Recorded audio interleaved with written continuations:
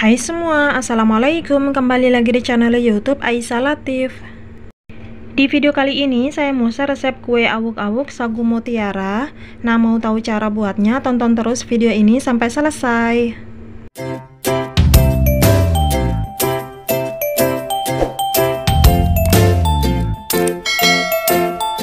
Pertama, di sini sudah saya siapkan 300 gram sagu mutiara.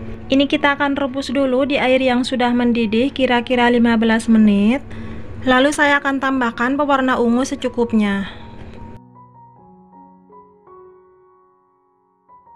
Nah setelah 15 menit ini sagu mutiaranya sudah setengah matang Siap diangkat lalu airnya ditiriskan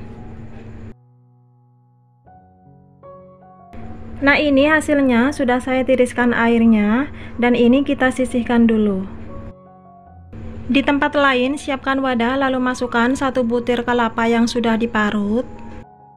300 gram gula pasir. 6 sendok makan tepung tapioka.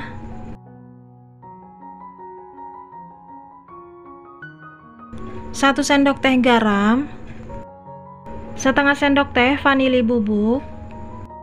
Lalu ini diaduk-aduk dulu sampai merata.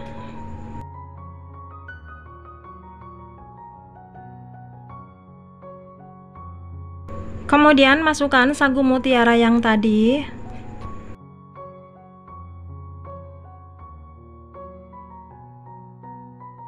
Lalu ini diaduk kembali sampai merata.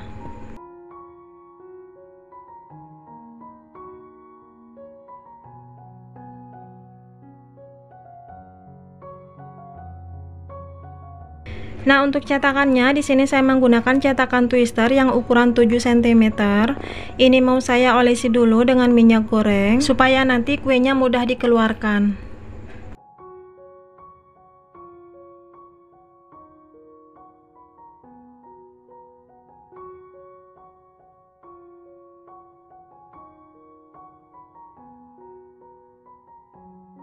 Nah, kalau sudah, saatnya kita masukkan adonan ke dalam cetakan.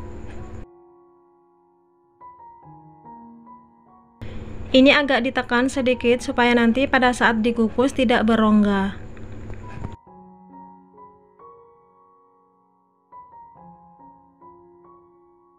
Nah, lakukan terus seperti itu sampai dengan selesai.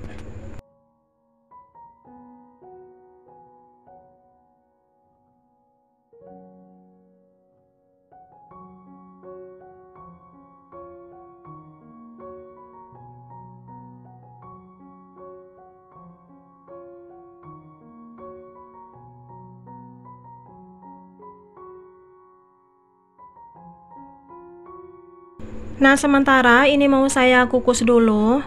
Di sini sudah saya siapkan kukusan yang sudah mendidih. Ini kita akan kukus menggunakan api sedang cenderung kecil selama 30 sampai 40 menit. Jika menggunakan panci yang tutupnya datar, sebaiknya dilapisi dengan kain supaya air uapnya tidak jatuh ke dalam adonan. Nah, untuk sisanya di sini saya menggunakan cetakan twister yang ukuran mini. Ini sudah saya olesi dengan minyak goreng. Atau kalau mau pakai cetakan yang bentuk lain juga boleh.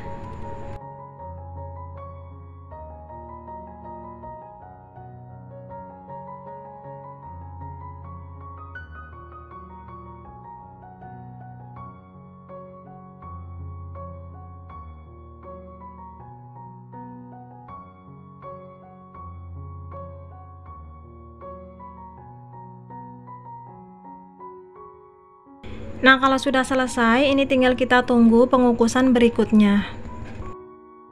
Sekarang saya mau cek adonan yang pertama. Setelah dikukus selama 40 menit Ini sagu mutiaranya sudah matang Siap untuk diangkat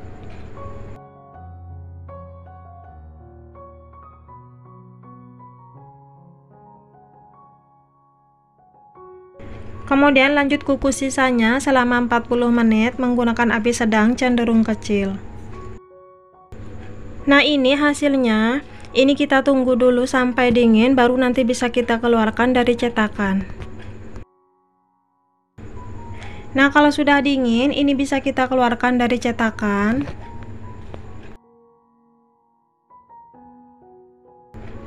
Ini hasilnya cantik banget.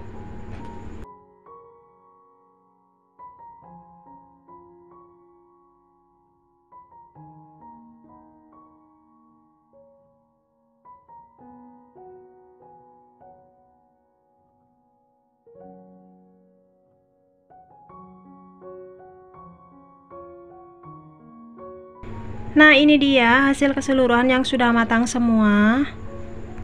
Sekarang aku mau coba dulu. Rasanya enak banget, manisnya pas Dan aroma dari kelapanya itu juga wangi banget. Cocok banget untuk dijadikan cemilan saat kumpul bersama dengan keluarga. Ini enak banget Oke, sekian dulu video dari saya. Jangan lupa untuk like, komen, dan subscribe. Aktifkan tombol loncengnya agar tidak ketinggalan video selanjutnya dari kami. Terima kasih.